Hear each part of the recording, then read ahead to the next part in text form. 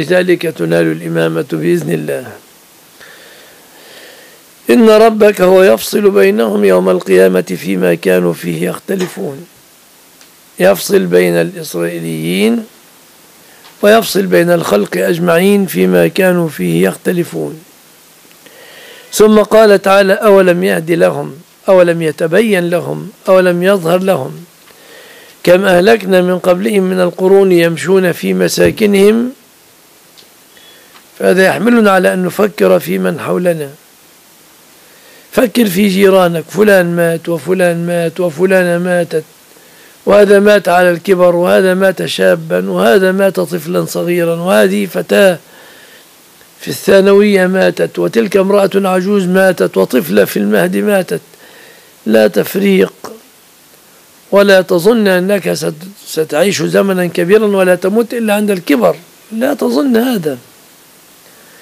فكم من صحيح مات من غير علة وكم من سقيم عاش حينا من الدهر.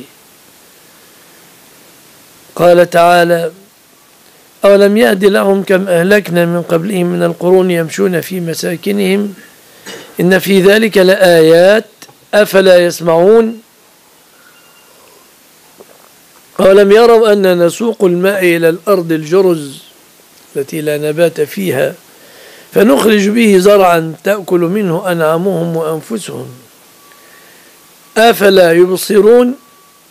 فالامتنان أيضا بإطعام الأنعام. امتنان من الله علينا بأن أطعمنا وامتنان بأنه أطعم أيضا أنعامنا لأنه إذا لم يطعم أنعامنا ستموت الأنعام ونهلك أيضا بالتبع.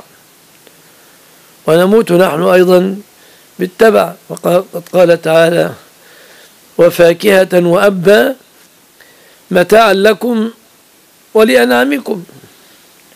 عنبا وقضبا الآيات فيها متاعا لكم ولأنعامكم.